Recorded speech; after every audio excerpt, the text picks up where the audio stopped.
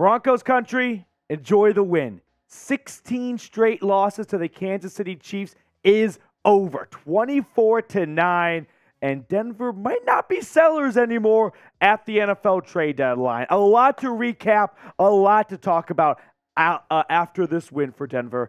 I don't know where to really even begin, right? Is it Justin Simmons gets his first career win against the Kansas City Chiefs? Is it Sean Payton and the Broncos sitting at three and five going into the bye? Maybe think all of a sudden we're not interested in doing a fire sale. We want to go on a bit of a postseason run.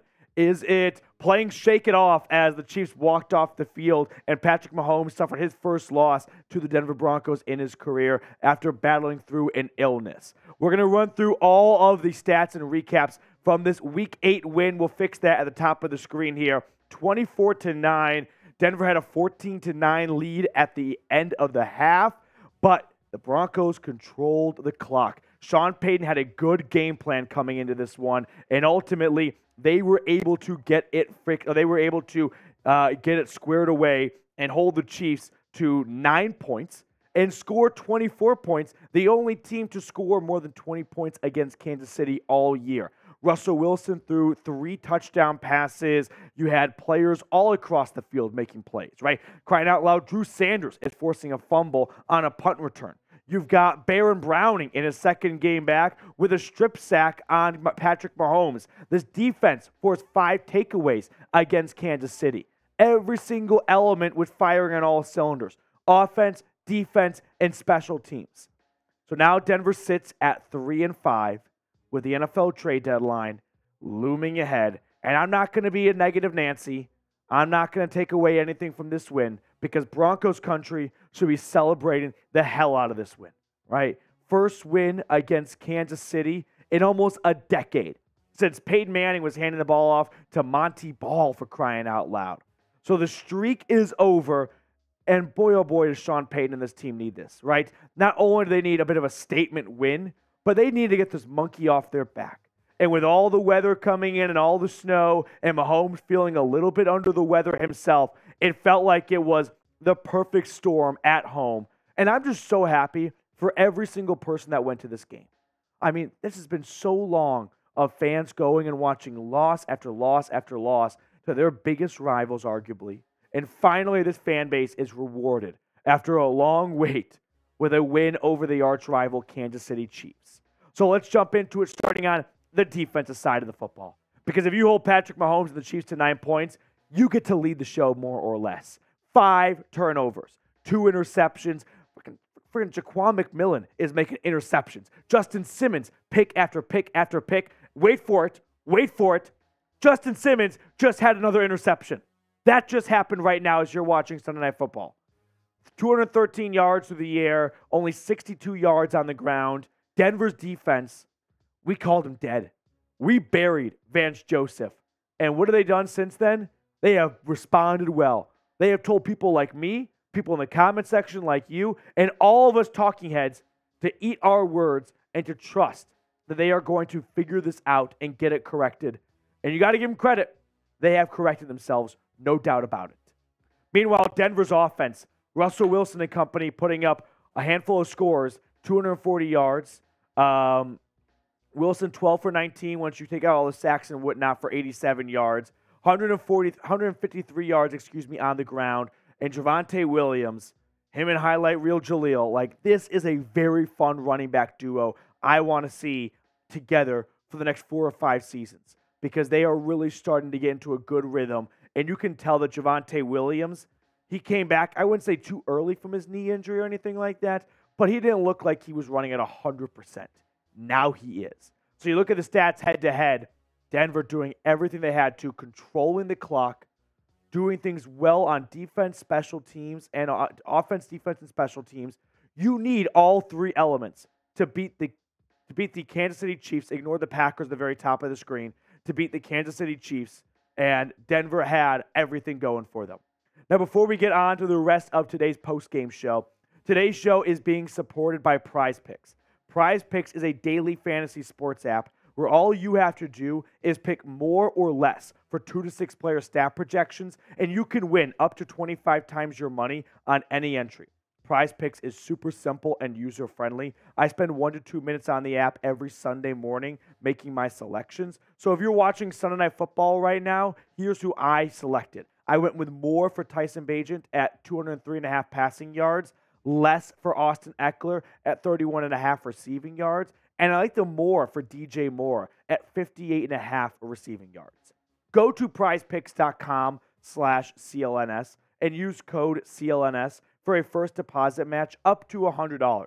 The link for that, by the way, is in the comments and description of today's video. Prize Picks, daily fantasy sports made easy. Let's run through some of the individual stats and takeaways from this game. Russell Wilson, like I said, threw three touchdown passes. Jerry Jeudy hauled his first touchdown pass of the season. I'm going to just butt in for 30 seconds here and go, I don't know if Denver still wants to sell or if they think at three and five they are about to go on a run and they want to keep it intact. All I'm going to say is this they beat the Jags in London right before the trade deadline last year, and they still traded Bradley Chubb. Now, beating the Chiefs at home is going to hit a little bit different, but maybe Denver gets some good offers for Jeudy and Sutton, and they decide at three and five it's still not our season, despite a win over Kansas City. I'll give you my opinion at the end of the video, but I want everyone to enjoy Victory Monday and this win over Kansas City. Javonte Williams, 27 carries for 85 yards. He is just impossible to bring down. Like, there's moments where I'm like, maybe Jaleel really, highlight real Jaleel, Jaleel McLaughlin might be the best running back on this team. And then you see Javonte Williams run up the middle. And you're like, I don't know what I was thinking 30 seconds ago. 33 is a problem that no one has an answer to. I love me some Javonte Williams. Jerry Jeudy, two grabs for 50 yards, one touchdown to the corner of the end zone. Jeudy, unfortunately, has not had a spectacular start to the year, but he definitely raised his value a little bit right there. And we have to address the elephant in the room, and that is the NFL trade deadline. No one likes talking about selling. It's a sad, tough pill to swallow, knowing that it's not your season, it's not your year, and maybe you start trading players away. So I want to get your input. Should the Broncos still sell? Or are you thinking right now, three and five? You get the bye coming up. You go to Buffalo and Minnesota after that. Oh, you get Buffalo and Minnesota after that. The Bills are the biggest frauds in the NFL, arguably. Out, off a bye, you just beat the Chiefs at home. Who's to say Sean Payton and company can't go into Buffalo and win? I mean, the Giants almost just did that with Tyrod Taylor. And then the Cousins are, excuse me, the Vikings without Kirk Cousins, who unfortunately ruptured his Achilles today. When you think you can win those two games at five and five, you are very much alive. Very much alive. So let me know. Should the Broncos still sell? I say only if you get an offer you can't refuse. Right? If you were looking for, let's say, a second for Courtland Sutton before, if someone offers you a second, maybe you say no now. But if someone gives you a first, I think you should. I, I, I think you take it. If someone gives you an offer you can't refuse at three and five, it's hard to say no. Let's talk about Patrick Mahomes. This is probably the uh, best part of the show, don't you think? 24 for 38, 241 yards. Um, I know Brittany Mahomes posted on Instagram or Twitter, one of those two, that the entire Mahomes family was dealing with a bit of a stomach bug, and evidently Patrick Mahomes caught that stomach bug as well, and it showed. Like it was one of his worst NFL games. He played every single snap still, so bravo to him for being a tough guy and soldiering through. But 241 yards. Justin Simmons is his daddy, that's for sure. And then Isaiah Pacheco, I, I wouldn't say he was well contained, but like they didn't go to him all that much. Eight carries for 40 yards. They sort of got into a bit of a rut and decided to air it out the rest of the way. And then Travis Kelce.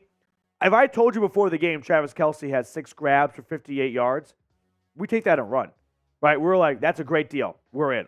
So I loved playing Shake It Off by Taylor Swift walking off the field. I'm so happy we're done with the entire Taylor Swift saga surrounding the Kansas City Chiefs. But big, big win, Jigga Buggy. That was fantastic. And then Courtland Sutton also getting a touchdown as well, I should mention. Two grabs for 29 yards. And Samaje Perine chipping in for a couple of uh, receptions as well for 16 yards. So ultimately, Denver 24 to 9 over Kansas City. Some big questions coming up for George and Sean Payton. At 3 and 5 going into the bye, do they sell? I say only if you get an offer you can't refuse. Right? If you get first round offers for Jeudy or Sutton, it'd be tough to say no to those. But don't trade Jerry Jeudy for a third round pick. Like at that point, you're just not getting, I think, what he's worth. And you might as well see how the rest of the season unfolds. You got a bye coming up. Bills, Vikings. You could be five and five. Sean Payton's a great coach. Russell Wilson might have some Russell Wilson days left in him. This defense is clicking. Baron Browning's back. People are getting healthy. Maybe not. I'll see you guys later. Enjoy the win.